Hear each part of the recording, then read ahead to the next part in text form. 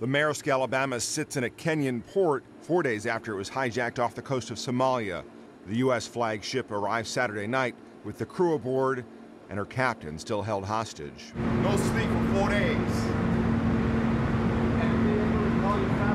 Yes, last night. Feel good.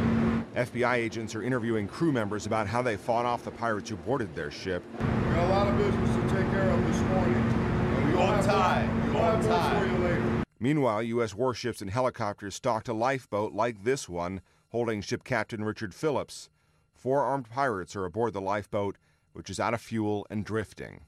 A Pentagon spokesman said Saturday night that negotiations to free Phillips were continuing. The New York Times reports talks broke down. The paper quotes Somali officials as blaming U.S. insistence that the pirates must be arrested. Now that they're in port, the ship's crew members are describing the attack. They say Captain Phillips sacrificed himself for the sake of the crew. We take hostage the leader guy.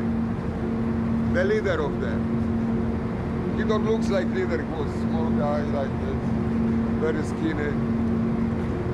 And when he take him, he was very scared. Phillips jumped out of the lifeboat Friday and tried to swim for his freedom.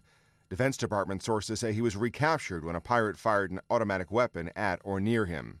Matt Friedman, The Associated Press.